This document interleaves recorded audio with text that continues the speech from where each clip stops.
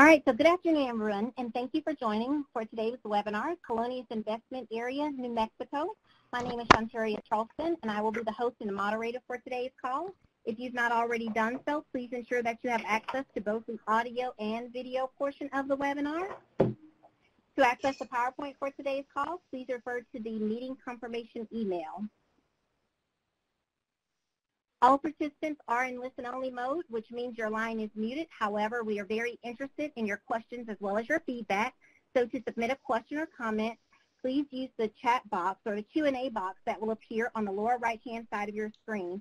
We will attempt to answer as many questions as time permits at the end of today's webinar.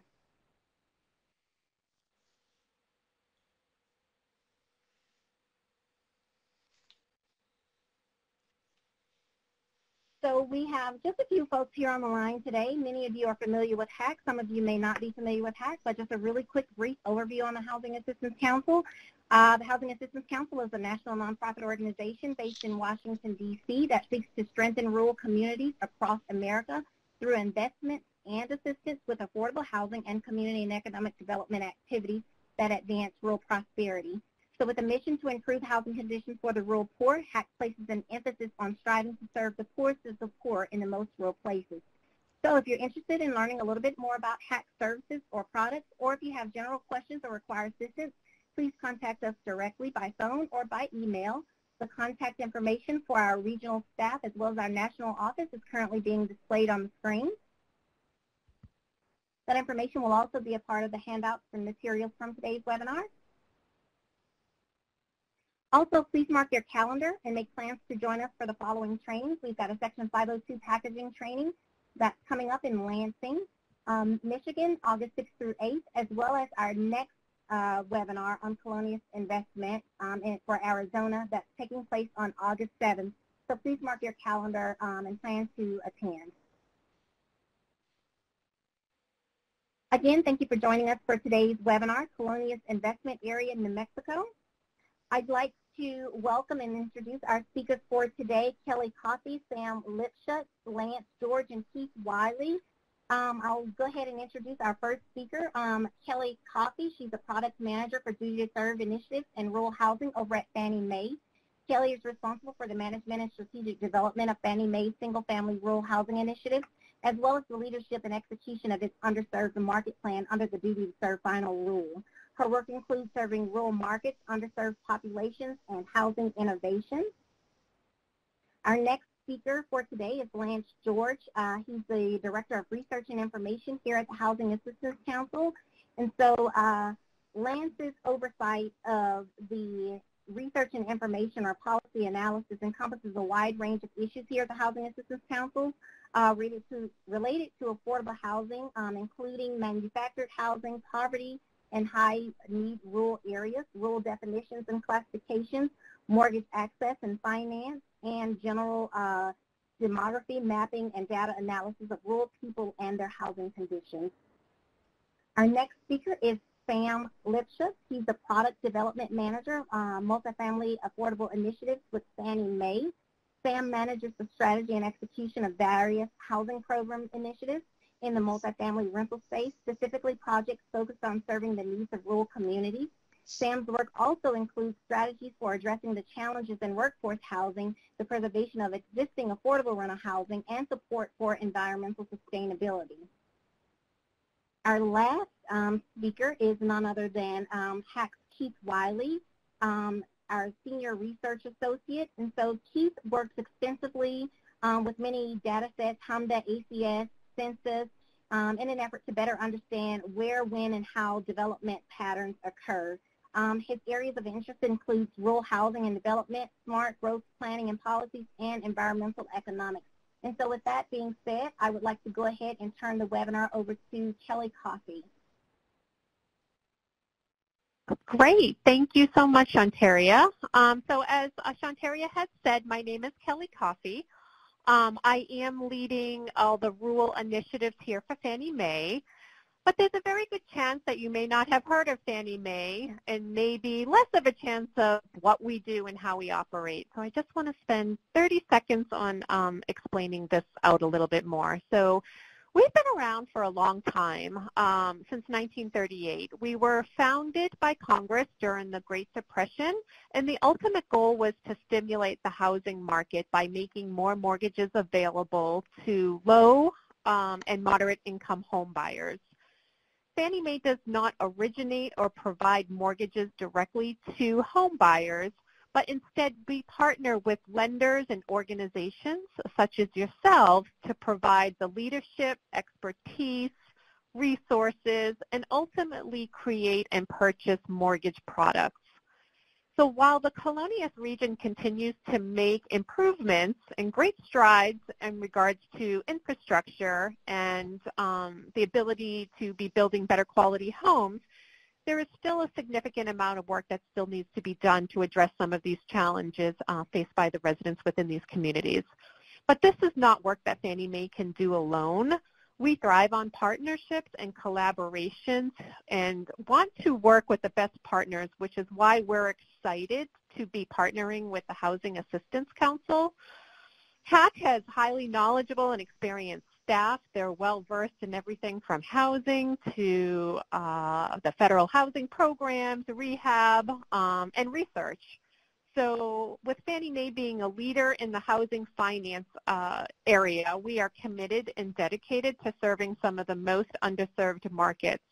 In addition to us wanting and needing to do this work, we also have regulatory commitments that provides just, just the background for everybody to become involved. Uh, we want to be able to provide the tools, the resources, the technical assistance to organizations such as yourselves to make homeownership possible. So I'm really excited to be able to offer this um, webinar to you today. And with that, I'm going to hand it off uh, to Lance. Thank you, Lance? Kelly. Thank you, Kelly.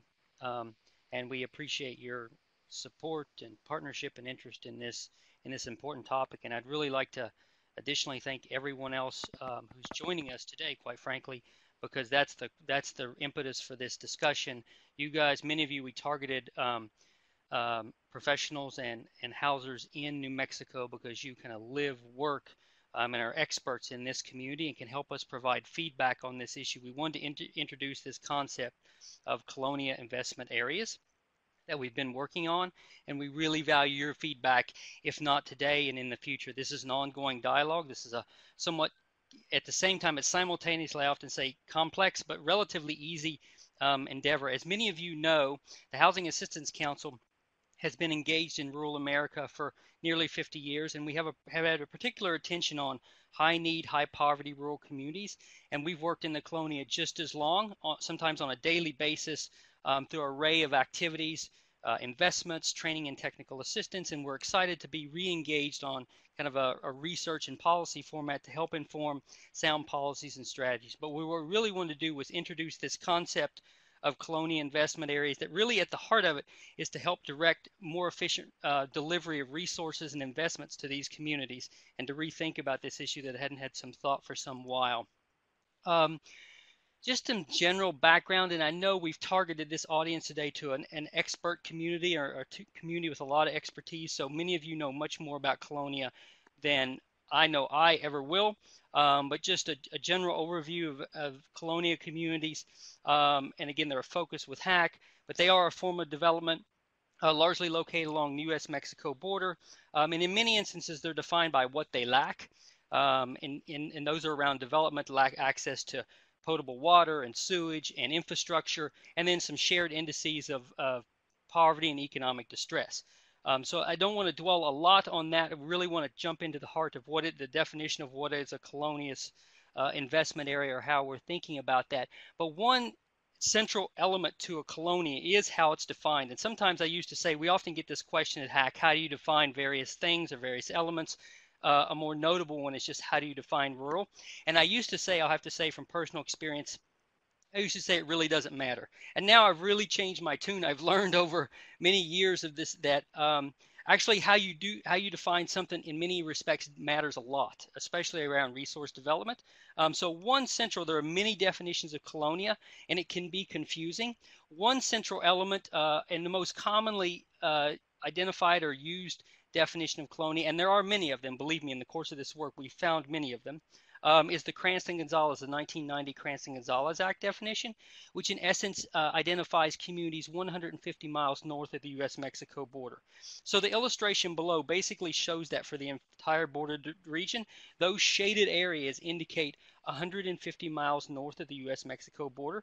This is just a quick insight into um, uh, and enter into that area. Now, did I say this is not wrong? And this is looking at New Mexico, and we've added a couple of other layers there. Those are counties. The red areas are counties within 150 miles. The shaded area is the actual 150 mile designation. And we have a much lighter element which looks at census tracts, which at the end of the day we'll talk a lot about census tracts and where those intersect. I hope that we hope not to make this conversation too technical. Luckily, we have our lead researcher, Dr. Wiley, who can explain these issues much better than I am or I do. But uh, we hope to avoid some of the technicality and get to the crux of what does it really mean was it colonia investment area. But that's just some background on how colonias have traditionally been defined or largely been defined. And that's not to say this is not wrong, but um, in the course of this work, we have um, we have kind of a mandate, and we just have you know the question is, and there are basically two questions here that I'm going to present. The first of which is up on the slide: Why reinvestigate the definition? Um, and some of that relates to what's called duty to serve. I don't want to go into detail about duty to serve, but Kelly mentioned various regulatory um, uh, requirements and oversights, and this is one of them. And in essence, it is uh, that the that the enterprises, Fannie Mae and Freddie Mac, are have a duty to uh, kind of serve rural communities, specifically high need rural communities. There are other basic markets that they need to have a have a greater interest in. But in this context, it's in high need rural communities, and colonia communities have been identified in that component. So within that rule, there's actually a specific designation, um, which of those communities or how they define those communities for greater investment um, and access to mortgage liquidity. And in actually a section of the rule, it basically says a colonia is identified as a community that meets the definition of a colony under a federal, state, tribal, or local program. Now, if you go back and read the entire rule, it gets a little more complicated than that. But in essence, they provided that framework. But unlike some of the other high need areas, that's all they provided. They didn't give a list like they did in many of the other areas. And, and thus the onus is on the enterprise themselves, Fannie Mae, to identify those. And that is easier said than done, quite frankly. And I think that's where our engagement had come in, some of our expertise and our work um, to look at identifying those communities within that context. And then that leads to basically this concept. The other major question I would say, what is a colonia investment area? And quite simply, I'm going to steal some of Keith's thunder here. A colonia investment area is quite simply a census tract that includes a colonia, that actually has a colonia. And there are a couple of reasons, there are three core reasons, and we'll get into some of these elements of geography, but there are three core elements or reasons why we, we identify or we brought together this concept of a colonia investment area at the census tract area. And uh, two of them are quite technical. The other is, I would say, more adaptive, and I wouldn't call it esoteric, but it's it could be debated, but it's not as is, is not as specific. One of the technical elements is, quite frankly, under the duty to serve uh, requirement, most of the parameters are around the the universal building block or the geography block in that program is the census tract. Um, and not to get into too much detail, but a census tract is a level of, of statistical unit that is uh, a smaller unit. It is a, but it's not the smallest. So it's below a county, um, but larger than a census block. Um, and again, we can answer any questions that you have specifics on that. So it's a granular, it's a more precise definition, but it's not too low. And it is the basic, it's the core building block of many of the assessments of, of duty to serve, many of the components of duty to serve, and quite frankly, it's explicitly mentioned in the in the rule. So that's one major reason. A second major reason, and a, that we use the tract as the basis of a colonia investment area, and we'll we'll illustrate this to give you a better idea of what we're talking about. But it's quite frankly, that is one area where we have statistical reliable data. So if you go below that, um, we simply, areas of unit of analysis below that, say the colonia or street address, we don't have data to help develop the definition and or basically assess any uh, programmatic activity after that. So the census tract is the lowest level of geography where we can provide, where we can access good data or information on mortgage activity or various social, economic, and housing characteristics. So it's very important at that element. That's the lowest level. If we don't have those data, we're really throwing darts in the dark. We don't know what we keep, we're doing. We don't know how to develop it, and we also don't know um, how to evaluate it, quite frankly.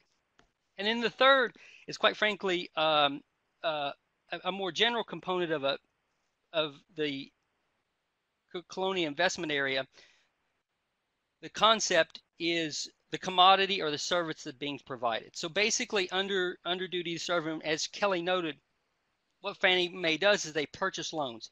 That's a core element of what they do. Um, so if you're talking about some other service or some other commodity, say water, wastewater, or providing sewage or something, you might want to go to a lower level of geography. But for this type of investment, um, the tract is the most feasible for, for a couple of uh, technical reasons, but also general reasons. So I think, and this is, um, you know, not a very technical researchy term, but we looked, tried to look at, use the premise of the Goldilocks um, approach. So not too hot, not too cold. We didn't want it too small, but we didn't want it too large where it could be diluted, quite frankly, and there could be credit given or resources allocated areas where there weren't, quite frankly, colonia, or it might not really address the core underlying issue. And now I'll just get into a couple of the technical elements and I'll try to go through this as generally as, as, as possible, although some of it is technical. And I would invite my colleague, uh, Dr. Keith Wiley, to weigh in on this. He and his team did most of the work here, um, and it was a lot of work, I would have to say. But um, the, the first element of uh, we really took a four-stage process in developing the Colonia investment areas um, from a geographic perspective, and those are identification, location, aggregation, and compilation. So to quickly run through those and give you just an idea, the first is identification because it mandates in the rule that you have to use uh, a publicly recognized list of colonia. So we compiled those publicly identified lists from HUD, USDA and EPA, the state list, and local municipalities. And these are, this is just some additional language that you can access in the PowerPoint afterwards. I know that's a lot of wordage, but basically those are uh, links to some of those data sources and more technical documentation about behind them. And as you'll note there in the in the slide, the, the bar charts, that shows you basically how many colonia community in New Mexico they were identified. And I'm going to stop and back up here a second I failed to kind of mention this, and it'll become salient as well when we talk about geographic building blocks. But we are focusing today's definition solely on New Mexico for a reason. Oftentimes, the colonias, in our perspective, is viewed as a monolith, all four states together. And I think Keith would attest to this. What we found in our preliminary research and over and over that there is a lot of variation by state for colonia. So they vary uh, in how they're defined and actually how they locate and exist and their characteristics a lot by state. So the Texas colonias are different than New Mexico colonias, and the same for Arizona colonias are different than California colonia. So we really did want to focus on states, specific states at a time in developing this. Now at the end, we are developing a master list, but it was very important to us to start at each state. That's an important component that I think is overlooked in many of these analyses. But when you go back to New Mexico, we basically identified these number of colonia, somewhere between 140 and 150 between the different sources. Many of those were overlapping. They identified the same colonia. But at the end of the day, we identified 165 total colonia in New Mexico from those sources. And you'll see this is just an illustration of, of the list. And I'm, we put this up here to illustrate a future point, but it's basically, you know, these colonia name on a list. Um, and for example, you know, um, basically Happy Valley Colonia, and it, we just provide a basic list of those. And this is part of the making of the sausage. The second component of that, if you'll remember, was to locate the colonia. And sometimes I think this could get confused with what's the difference between locating and identifying a list. And this is a huge distinction those colonia, just to identify them, oftentimes they are solely a name on a list. It'll just say X name of colonia in Dona Ana County, or not give any geographic specificity. It'll just be a list on some name with no XY coordinates, no street address, doesn't tell you what county, nothing. And that's where a lot of the work, quite frankly, came in here um, with Keith and his team was um, not only identifying, chasing down the names of all these colonias, but actually plotting them on a map. That was quite frankly most of the, a lot of the work um, was getting that between that step. We'll introduce a couple concepts here between points and polygons and just underlying geography. Um, I'm going to defer possibly to Keith later in this, but just a, an important point about points and polygons. Um, a polygon is the orange shaded area in this map. So a polygon is a geographic area where we actually know the boundaries. That's a very simplistic definition. And a point is we know that um, the Rockhound um, Colonia is located there, but we don't know its physical boundaries. And in the course of this, we got both of these types of data. So we know the actual point. It might be what we call a centroid. It might be in the center of that colonia, but we don't have the boundary data. And for some other colonia, we actually know where the boundaries are of the colonia, and those are shaded in orange. It's just a important distinction. We let really Keith worry about this part of, of the of this uh, of the of the investment area um, or the making of the sausage, I should say. He he's he and his team are best at doing that. We just wanted to identify that, and then finally the building blocks of geography for this. So basically, as we noted before, we identified the colonia, but to make the colonia investment area, we need to aggregate up, and that's the third process, would be to aggregate up by census tracts. And as I noted before, most importantly, we did this each state at a time, each state individually, quite frankly. So it's in, in some respects, it seems very simple. We are simply identifying census tracts. I mean, a colonia. So these orange areas in New Mexico, the I should I should identify the black lines are the actual census tracts. The orange identified areas are actually the identified colonia. So the or I should say the located colonia. We had to identify them first, then locate them, and then hmm. ultimately we aggregate up to the census tract and the shaded light tan tracks in this illustration show you the colonia investment areas. Those are based very simply a census tract that has a colonia located in it. And if you wait, if you take back away the aggregation and you take back away the colonia, at the end of the day, this is the product. These are the colonia investment areas where there should be targeted resources because there are colonia in these in these census tracts that are relatively small unit of geography um, that you can also analyze uh, and provide some technical elements of mortgage finance and purchases. The final stage is compilation. Um, uh, we're less in, uh, I think that's less important for this conversation because we really did want to focus in on the state of New Mexico. But um, the at the end of the day, we'll take all four states and compile them. Because we are using different data sources, we have to what I would say smooth or normalize the data so it's all one consistent set of data because that is the that is the charter or the mandate, quite frankly, from Fannie Mae's regulator, but also to help them in their service provision. And then we link it to other social and economic data so you can have even richer data or knowledge about these particular areas. Um, and at the end of the day, I might even ask Keith to weigh on this, but the, the, the total tally, and this gives you an example of looking at the total number of census tracts in New Mexico in that 150 mile border region. And at the end of the day, we identified 58 census tracts that in essence are now what we would classify as colonia investment area. And those include about 13.1% of the population in those areas, quite frankly.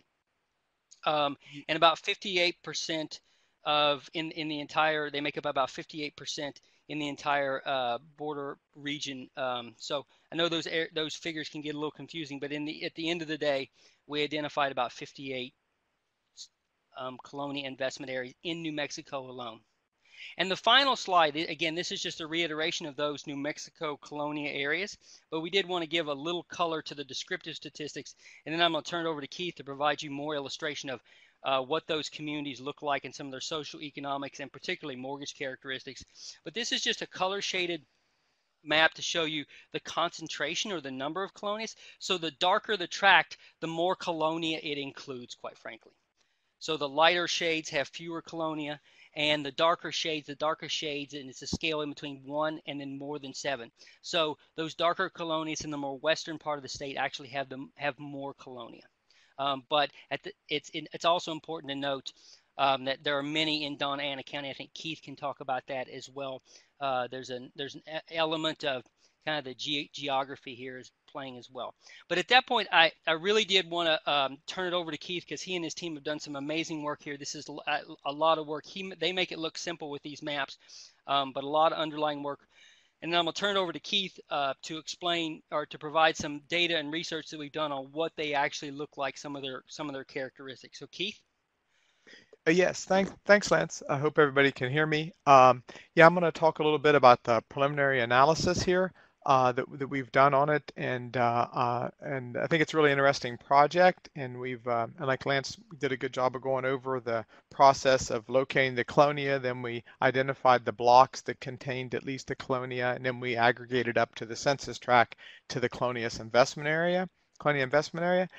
And what we we did here is initially I wanted to get an idea of what it looked like, these these communities look like relative to the uh, other parts of the state, uh, and gets and basically in most of the research, there's a lot of you'll see on the colonia there'll be a demographic characteristics analysis. So I tried to do that here, uh, and this is an aggregate, but you can see the blue bar is for the U.S.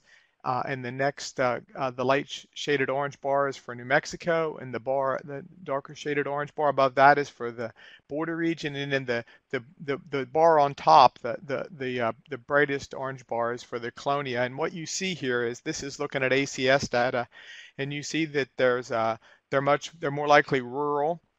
Of those 58 census, our Colonia census area census tracts, there's about 41 are rural, so it's it's very rural, and that's not always the case in some of these states like Texas and stuff and California. Uh, it's got a relatively large uh, Hispanic population, 57.3% compared to 17.3 for the U.S. and 48 for the state of New Mexico and 55 uh, for the border region. Uh, it's a it's a, a, bit younger in aggregate. Uh, there's a larger share of it under the age of 18 at 25.4 compared to uh, 24.1 for the state and 23 for the U.S. And there's uh, more poverty there, uh, 24.7 compared to uh, 20.9 for the state and 15 for the U.S. And these are kind of things we, in the literature, we'd expect we might see, but I just wanted to run them to get an understanding. And again, this is an aggregate and I want to do some more work looking at the individual uh, investment area tracks too. But uh, the next next slide I have here is I we also wanted to look at the housing characteristics similarly. And uh, again, I know it's a lot of information, but again, the bottom bar, the blue bar is for the U.S. Uh, the next orange bar is uh, lightest shade one is for New Mexico. Uh, the next one up is for the, border region, and the top one is for the Colonia investment area. And again, we see things similarly. There's a higher home ownership rate uh, actually in the Colonia, which you kind of might expect uh, because this just refers to homeowners and renters, right? So there's more homeowners there. A lot, some of it's because it's rural, but also even uh, it's just that that's how it would be categorized, uh, even if the you know a certain loan type is involved. Uh, the next one I found very interesting, and I'm sure this I find this fascinating, is there's a huge amount of manufactured housing there. Uh, in the U.S., it's about 5.7%. Uh, for the state of New Mexico, it's 15.6. Uh, for the border region, it's 24.1. But for the Colonia investment tracts, it was 31.8, which is really, really high. Uh, I know that's actually another part of the duty to serve as well. Uh, I just find it very fascinating, and that has a lot of other implications. And it makes some sense when you think about it, right? If it's a sparsely populated area, it can be very difficult or expensive to build stick-built housing. So, you know, this makes some sense and it's also a lower cost housing option, but we'll, I'll talk about that in a minute, but it's really fascinating. Uh, it, it's really high in the state and particularly in that region. Uh, the number of, uh, the percent of units that are less than $10,000. Uh, and again, this is ACS data, but you can see it's, it's a bit higher in the Colonia at 4.3 uh, than the region and then, then the state at 3.3 and 2% for the US. And then the number of units without plumbing uh, was 1.1%. And that might not seem high. And New Mexico is high at 1%, but the US rate is 0.4% of all units, occupied units, lack plumbing. And there's also in the literature some talk that some of these estimates could possibly be a little lower. But in general, it's what you might expect, right? There is a high home ownership rate, but there's a large number of units uh, that, that lack plumbing. There's also a large number of units that are less than $10,000 in value. So this is, again, these are things we might expect to see. So next, and really the, the main part of what I, I really like to work with and a lot of these things is the mortgage loan data, the Home Mortgage Disclosure Act data. And so we pulled the data from 2015 to 2017, and this is essentially most loan applications in the U.S., especially for larger lenders, uh, are reported here, and it put, gives uh, loan information, loan characteristic, uh, borrower characteristics, uh, the lender characteristics. And what I wanted to do and what I'm doing right now is trying to compare the activity for the areas inside and outside of the colonia investment area to see if we can find patterns and different commonalities. And here I'm just going to talk a little bit about the amount of lending, borrower characteristics, and loan type. And I do want to bring back up, Lance brought a really good point here. This data is collected at the census tract level.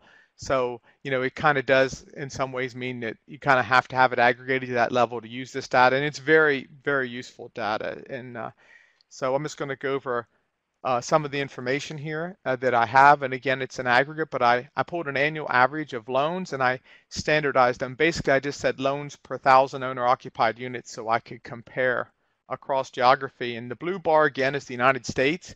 And you see there was uh, 100, essentially 100 101 loans per thousand owner occupied units. But in New Mexico, as a state in total, it was down to 72.5. Uh, and for the, the border region of New Mexico, it was about 64. And for the Colonia investment area, it was 61 and for the rural part it was 49 so you see there's much less activity. First of all there's a lot less activity in new mexico and then there was a lot less activity when you get to the colonia investment area and then when you get to the rural part of the colonia investment area. Now some of this makes sense right because there's probably less loan activity in rural areas. So maybe that was driving it. So this the next slide just to show you uh, I, I did the same thing. I just took the border region and the triangles are for the part of the border region that wasn't an investment area and the squares or orange squares are for the part that is. And you can see there's more activity. It's the same same metric. There were 68.7 uh, loans uh, per thousand owner occupied units uh, outside the border region, not in an investment area, but there were only 62 for the investment area portion. And if you look at the rural, it's even more pronounced. We already know that it was 49 for the rural colonia investment areas, but outside the colonia investment areas, it was 62 loans. So this is just a way to standardize and you can see there was a lot less activity there, which I find very interesting, uh, oh, you know, why that may be. And another another element to look at was Hispanic or Latino lending uh, because they make up a majority of the population uh, in the border region and the colonia investment area. And so this is just a pretty standard approach. I, I did some other figures, but to be honest with you, they're kind of difficult to explain. Uh, but what I did here was each each geography, I have a light orange, which is just their share of the owner-occupied units, Hispanic, Latino share of the owner-occupied units. And then the darker orange bar is the Hispanic or Latino share of the home purchase originations, you know. So thinking, you know, that we compare how much of the home ownership, the owner-occupied stock they have compared to the home purchase loans. And you can see there's a difference the whole way. Uh, from New Mexico is about 39.5% of the housing stock uh, is Hispanic or Latino, but the the uh, home purchase originations is just 35%, and that difference consistently goes clear on out to it gets the biggest in the rural part of the colonia investment area, where it's about 37.5% of the uh, owner-occupied units are Hispanic or Latino, but only about 29% of the loans uh, in those areas. And this is probably even a bit of an underestimate because I think actually the, the, the, darker orange bar should be a little higher than the lighter one. If they're if the population's growing, then their share of the loans relative to their share of the unoccupied units, you'd think. So it might actually be a little bit more of a difference than what you see on here actually. Instead of them being maybe better, that they should be even, it may maybe the darker one should be a little higher. The the, the orange one saying they, there's more loan activity than their share of the owner occupied units but it does show that there's much, if you look at the other data, you also see that there's much more, there's a limited amount of lending there. And now I want to return to this because I think it's it's fascinating and it's a it's a really big big issue here. Uh, is the manufactured homes, uh, and we talked before about the huge number of uh, manufactured home loans. If you look just in the ACS data, so I pulled the the um, the mortgage loan data, and again, this is an annual average. And you can see that there's the U.S. total, New Mexico, the border region, and in the colonia investment area. And I did the same thing. I, I have the light light bar, the orange bar for the for, for the whole area and the dark orange bar for rural because there's a huge difference here between rural and the whole area. And if you look at the U.S. total, what this is essentially is saying 1.8% of annually of the originations, uh, and this is all of them. I pulled uh, home purchase, uh, home improvement, refinance, involved a manufactured home. But for the rural, and this is duty to serve rural, it's 6.3% for the U.S. And that makes some sense, right? Because manufactured housing is primarily a rural housing option or some suburban but you can see the, the, the difference uh, in the two. And then what I wanted to show with this figure is you can see it just keeps stepping up, right? New Mexico, 5% of the, all the originations annually were involved in manufactured home, but 11.5 for rural. For the border region, it was 9.6, eh, but for the rural part, it was 13.8. And then for the investment area, it was 12.6, but for the rural part, it was 18.5.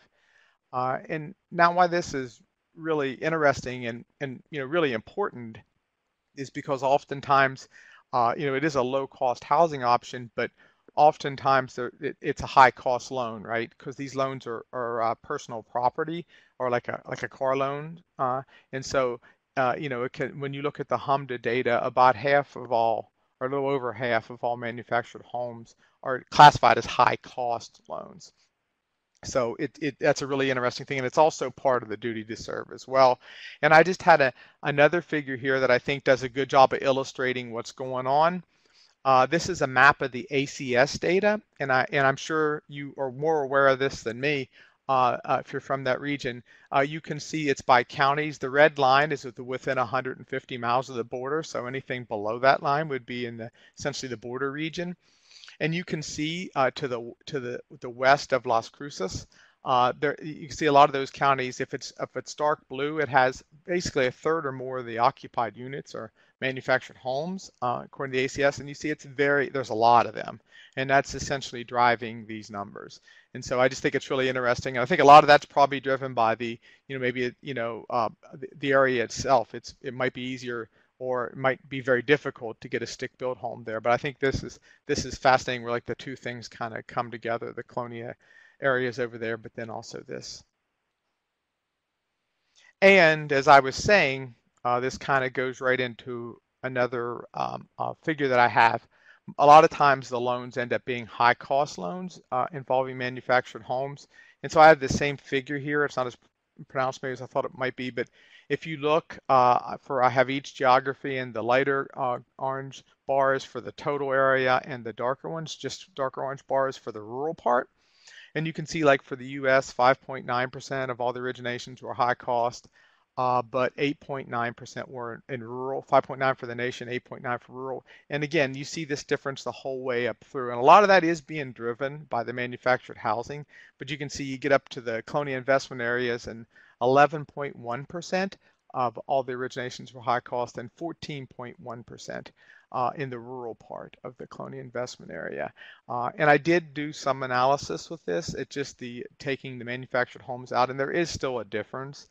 Uh, so, but it's not as pronounced. But it's it, again, you, you where you find a large number of those loans, you'll find a, a, relatively high cost loan. And I should say, I, I didn't define it. This is high cost loan is defined by HMDA, which it's like I think for a first lien, it's uh, 1.5% above a prime rate loan. Essentially, it's a loan with higher uh, interest rate over the threshold that triggers this classification.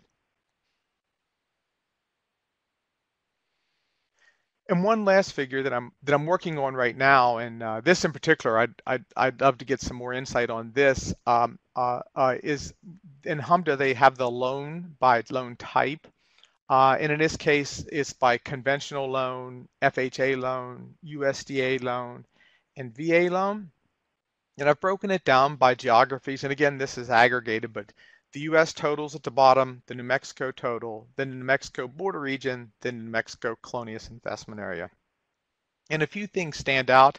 I put the numbers above so it would be easier to follow because I was actually getting the numbers in the in the bars and I was getting lost myself too. But what it says is essentially 66.5% of the U.S. activity during that period was considered was a conventional loan, and the remainder was a government loan with 21.5% FHA loans, 2.9% USDA loans, and 9.1% VA loans, right? And these are originations.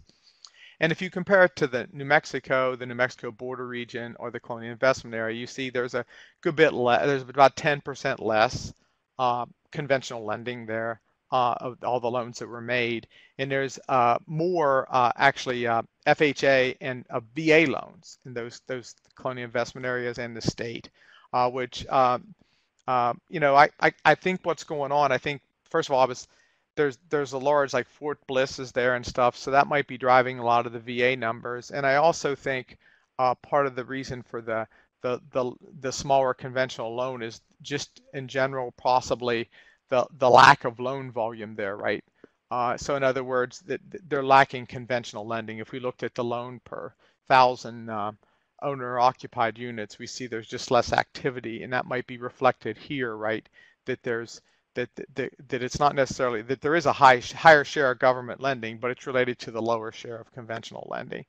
Uh, and I will also say that I did not the Declonia investment area. If you break it down by rural and everybody else, you get a slightly different different breakdown as well. There's fewer FHA loans, a smaller percent, in the rural colonia investment areas as opposed to the colonia investment area that's not rural which is interesting. And I've also seen that in some of the Texas data as well, um, uh, which I think is interesting why maybe there's just less FHA activity there than what you might think, especially the rural parts.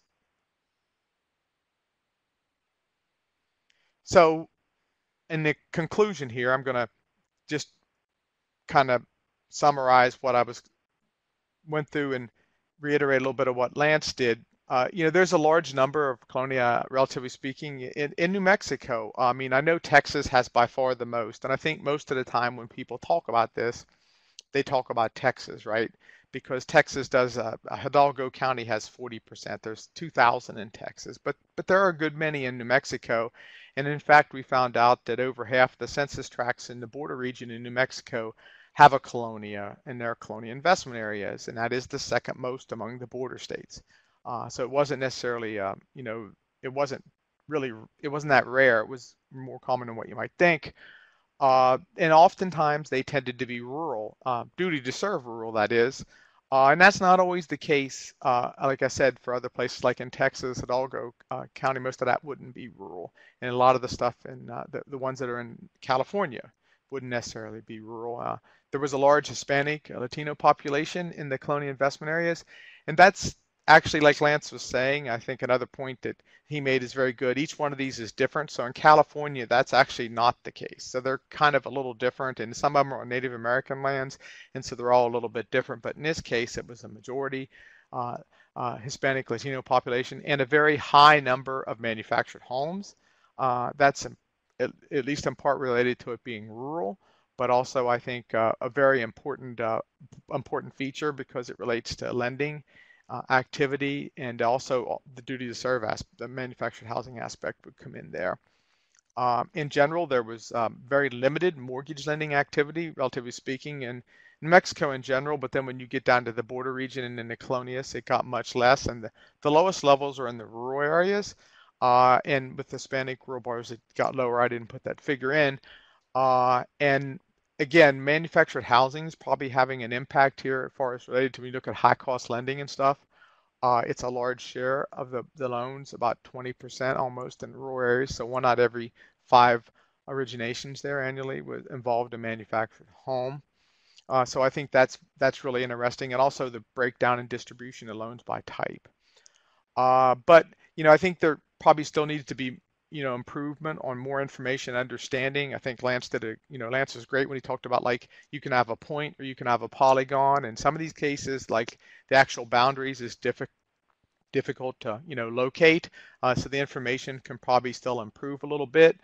Uh, but i think the duty to serve has done a, a really good job of focusing attention on this issue and these efforts. I know if you look back at the literature about 2004 or 5 or so the, this issue kind of went off the policy agenda. Now that may have been related to the to the financial problems and the mortgage crisis, but from NAFTA in the early late 80s and early 90s through the 90s, it was a, probably a much more talked about issue, and there was like the Cranston-Gonzalez Act, and there was a lot of efforts focused towards it. And then it kind of, I think there during the 2000s some point kind of became less on the agenda. And I think the duty to serve has put it on the agenda. That and other things like the USDA has a the EPA had a big project where they identified, uh, uh, you know, did an assessment on the border where they identified these communities. Uh, um, we used some of their work here, uh, and so did the University of New Mexico uh, Bureau of Business and Economic Research. It was just a lot of great activity, a lot of great work.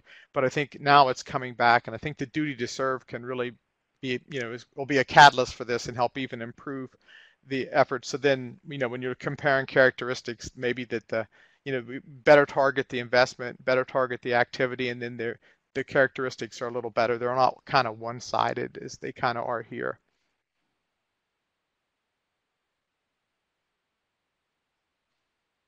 So I'll probably uh, turn it back over to Lance, and uh, and he can, you know, but we're looking for feedback and uh, next steps um, um, to, to go. And I would, I, I really, any, you know, the information would be great. Your, your, your expertise. Thank, thank you, Keith. Um, and at this point, um, I would just like to, to thank Keith and his team. They've done an immense amount of work here. I often say this is on the iceberg principle, where you only see the tip of the iceberg. It's not really relevant, I think, to New Mexico Colonia, but you only often see the tip of the iceberg sitting out of the ocean. But there's a large body of work underneath this.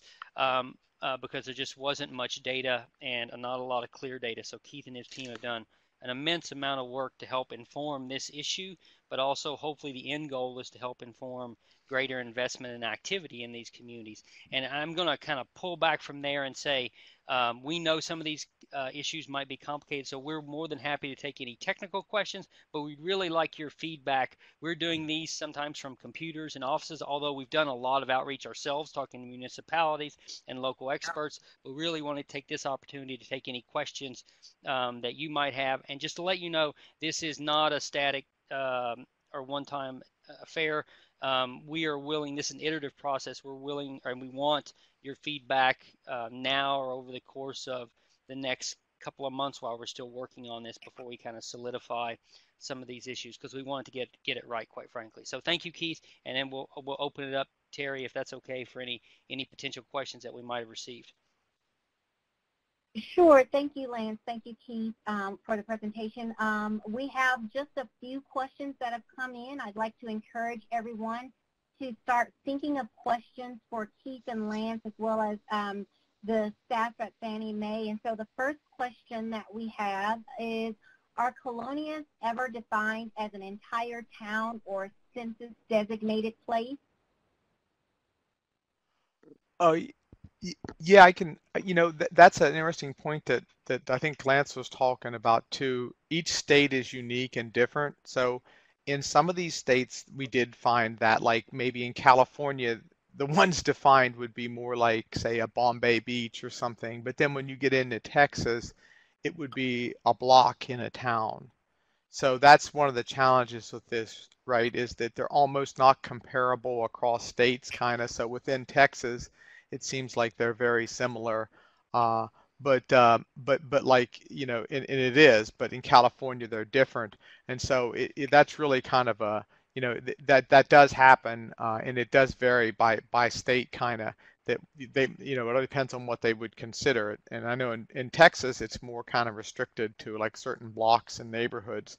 And when you get into like Arizona and uh, in California, it tends to be I think a bit larger uh, more of the town, which is really gets into the issue of it. That's where when we're trying to say how much colonia is in a particular tract, colonia or colonia investment area, it's hard to do right because it's hard to know sometimes the exact boundaries. That's why we counted the number uh, to hopefully you know give us at least some metric to say we think there's more activity here than there, but without you know they're measured a little different. It can be a challenge.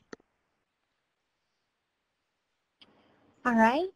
Thank you, Keith, for that uh, answer. Uh, the next question, and uh, I'll again encourage everyone to be thinking of questions and enter them directly into the Q&A box that's on the right-hand side of the screen, the lower right-hand side. So the next question is, do you make a distinction between metro and outside metropolitan areas like the HUD definition does? Well, uh, yeah, for uh, for this, we we we use the duty to serve rural to separate the analysis out at the census tract level, but but that is true uh, in the the HUD definition. Uh, actually, um, they uh, it it's the all area within 150 mile of the border, but then they exclude uh, areas with over a million uh, people uh, in in part of a metropolitan area with a million people. So like technically, parts of Los Angeles are within 150 miles of the U.S. border, so or San Antonio, or at least the metropolitan area. So in the HUD definition, they would just say that can't be. Uh, for our analysis of these states, we, we kept anyone in that was identified. We just labeled it according to the duty to serve definition, uh, which I think is, uh, you know, is, is probably an interesting and a, and a good way to a good way to kind of tackle the issue. Uh, and and oftentimes too, and I think about stuff like this is like Lance said, it's not it's not static, it's dynamic too. So in many cases, you might have some of these communities that've been there for 20, 30, 40, in case of California, 50, 60 years. So they may have actually been built when it wasn't metropolitan, when it was when it was more rural. Because I think a lot of times, especially the ones in Texas, were built at the fringe, right? Uh, because housing and land prices were so expensive and you could get cheaper land at the urban uh, rural fringe but now over time development's overtaken it so it might be part of a metro area which i think is a whole nother interesting dynamic to this uh, and uh, you know lance might be able to, to speak to it a little bit but yeah we we didn't we used the duty to serve rural definition but i think it, it is an interesting thing to think about yeah, and I, I would only add that was that was uh, kind of a good encapsulation by Keith. I would only add that the nexus of this is often a complicated issue, but the nexus of of rural geography, I think, is complicated in this, and it's somewhat unclear in the regulation, and we're still trying to parse that out mostly through what does the analysis tell us. That's the way we do things um, as researchers, um, and we'll let um, other people kind of uh, parse words over meanings within regulation and code.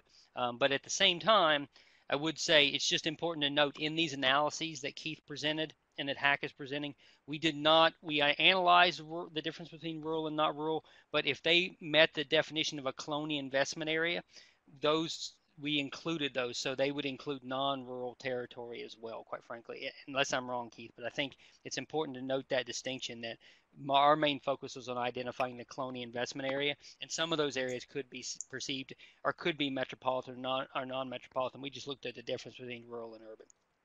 Yeah, yeah, we didn't restrict anything, and uh, one one not directly related, but I think an important point about is um, when we looked at the Home Mortgage Disclosure Act data, that's there could be people getting loans outside that market. So that would be an important thing for us to know as well, right? Because the Home Mortgage Disclosure Act data uh, is essentially like reported by banks and other things, and it's mortgage loans. But when we're, I think maybe some of the Texas work, there was some talk that you know just because you know maybe it's not going through a bank, there's also credit, maybe it's payday lending or some other type of lending that's going on in those areas. That might be interesting to know what the because we capture part of the market, but that's a the, like the mortgage lending part of the market. I'm always fascinated by is there some other market, you know, like if that's going on there where people may like there's a limited amount of lending activity there, but does that mean people aren't getting loans? Or they, you know, are they going about it another way that we're just not capturing? So sorry, that's a tangential thing. Yeah, I know. I think that's an important distinction as well, and it's a, there's a likelihood, right, that um, for the, the, the, one of the overall themes is we don't see a lot of standard conventional mortgage finance in these areas. It's relatively low. That's why we need um, partners like Fannie Mae and others to kind of enter in this space to expand those opportunities. Um, and that's one of the primary goals. But it's a given that um, that there's a, a, probably a high element of non-conventional finance that is less consumer friendly, and that's one of the goals behind this. Quite frankly, is to inform uh, strategies to move beyond that to so where consumers are uh, being able to access um, higher quality credit. Quite frankly. All right, thank you. Looks like we have a raised hand from Art out at TDS. And so Art, I am actually going to unmute your line so that you, you can ask your question verbally. So one moment, please. Art, are you there? I'm here. I'm here. Hello, guys. This is Art Marujo with Tierra del Housing Corporation. Um, a few things I, I, I want to put out there. Um, so this duty to serve, I think we've been at it for over a year now. I've been to some in the past. And you just touched it right now about expanding opportunities for limited mortgage lending activity.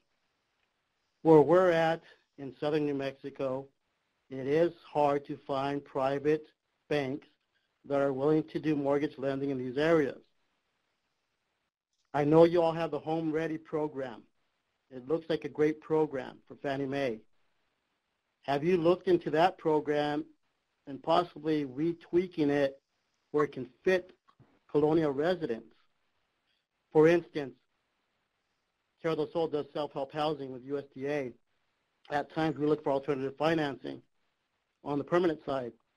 But we have a bunch of private banks saying that they cannot take the value of the sweat equity that's put into these houses as down payment. That is one big issue that we're up against. What can Fannie Mae do with the investors to entice that and provide a secondary market for that type of product?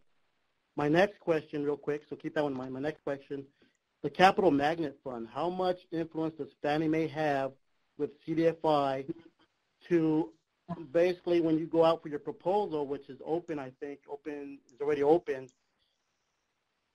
in that if you're going to serve Colonia as part of duty to serve, maybe a couple of extra points for that proposal.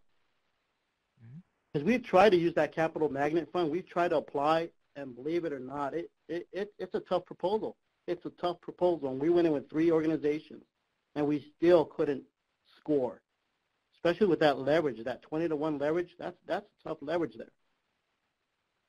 Unless it's multifamily, you know, but single family, that capital magnet just doesn't seem to work. All right, Keith or Lance, would you like to respond? So um, this is Lance. I, I would hope that um, somebody from Fannie would, those questions were more directed at, at Fannie Mae, and I can't speak definitively about those other than um, um, I, I, don't think that uh, on the Capital Magnet Fund, they don't have much sway on how that money is distributed. It just comes from their proceeds. Um, but I think it's that's administered by the Treasury Department. So I'm, that's my understanding. Um, it definitely is related, but I don't know how much they have. I, I just cannot. That, that's what the call is, and we're documenting those questions. I can't speak specifically and don't want to speak to their product line, quite frankly. Hopefully, if uh, Sam or Kelly uh, can get back to you if they're not able to answer right now. So, but thank you for those questions, Art. They're they're very valid, and that's why we're having these discussions. Um, because you're right. At the end of the day, the definition is that's what we're talking about today, but that's not the important part. The, the important part is the end result of the access of credit, right? And that's what this is moving towards. It is, you, and you know that I just I would only add one point, Art, that this is only one year. Really, Fannie Mae and some other entities have not been engaged in some of these communities for a long time. I'm not making excuses. I just think sometimes it's a longer term game, and we need your education and your expertise to help mm-hmm. inform those processes. Um, but I don't. Uh, hopefully, we will start to see some significant activity. But I do think it also is potentially a long game. Hey, Lance. This is Kelly. Can you guys hear me? Yes. Thanks, yeah. Kelly. Oh, yes, Kelly. Oh, great, great, great, great.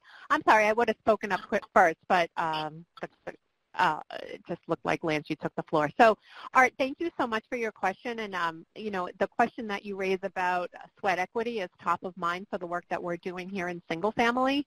Um, we are kind of in a, in a research phase to truly understand the best way to be able to determine value of the sweat equity and how we place a dollar amount on that. So I would love to take this conversation offline um, to see, you know, how your program works. I know you said it's in partnership with the USDA, but any other type of kind of information uh, that you could provide will help me kind of be able to move this forward. Um, but I do think, to your point, the Home Ready could be a, a wonderful product if somehow we can compile it with, um, you know, the sweat equity as well as just any other ideas or, um, you know, thoughts that you may have because there's nobody better than you and your organization who can serve these communities. So I'd love to take this offline and um, see what we can do to um, propel some mortgage lending in that area. Thank you for raising that. All right. Thank you, Kelly. Um, there is one final question, and we are right at the top of the hour, so I'm going to ask it really quick and see who can address it. Um, if there is one issue or is there one issue that needs to be addressed or further explored regarding identifying colonias? Well, uh, it, uh, just real fast for me, this may be a technical, uh, just after doing a lot of work with this, it seems to be there's some debate about whether that status is a permanent thing or like if as water work and infrastructure are improved, whether you're still on the list or not. Uh, I found that very interesting because say if we, there used to be, there was a lot of work done in the early 2000s with the USGS around the Colonias monitoring project and stuff and there was lists on then and colonias are those still active lists or like it you know what i mean it's a dynamic process and i think just to help define it better uh, to get a clearer list maybe clear out some of those those issues i think might help uh, a little bit uh, i treated it as if once you were on the list then you were and that's how we did it uh, but you know i could see some kind of um, maybe some challenges there uh, about what you know what is and what isn't uh, and is it a permanent thing and that kind of yeah, thing. I, I, think that's a good point. I'm only going to quickly add to this. This is Lance. I think that's an excellent point by Keith. Again, more on the technical side, yeah. um, but I think this is relevant, and we've heard this question before. Um, I think Keith was talking about are they still colonias because many of them were identified in the 90s or 80s. But I think we are hearing, and I'll be honest, it's beyond our scope of work, but hopefully we could maybe move this on what we call new colonia, right? Mm-hmm. There are some states where these lists have stopped at a certain point, and there might be a community that is actually has a settlement pattern like a colonia, but for whatever reason, it's not being identified. Um, the Dallas Fed has done some work on this. So uh, that's beyond the charge that we're working at because we have to work on you know currently identified properties or currently identified colonia and some of those lists have just stopped. They've been stopped adding to them but there may be new communities. I think that's beyond this research but for the larger topic i think it's an important salient component. Yeah great point there lance but yes. thank we thank you all. Thank you Shantaria, and thank you uh, thank you everybody. Kelly and sam and fannie mae for for kind of your interest in this issue and supporting this issue yeah no thank you thank you everybody all right thank you so if looks you have any insight, are at the anybody of the. Oh, I'm sorry, Keith. Go ahead, please. Oh no, I was just going to say if you have any insight or anything you want to talk about your communities or anybody on the call, just please let us know. I'd, I'd like to hear it uh, about more information. All right. Thank you, Keith, for that last word. Um, I'd like to thank Kelly as well as Sam, Lance, and Keith for the wealth of information that's been shared today. Also, thank each one of you for your time and participation during today's webinar. Um, also, as we close, please be on the lookout for a really uh, quick survey um, that will contain uh, your certificate of participation. Um, but the survey is the most important thing. That is the way that we know that we're bringing the most relevant content to you and the work that you're doing in your communities. Um, with that being said, um, I'd like to wish everyone a very well rest of your afternoon. Thank you very much for your participation. Enjoy the rest of your day.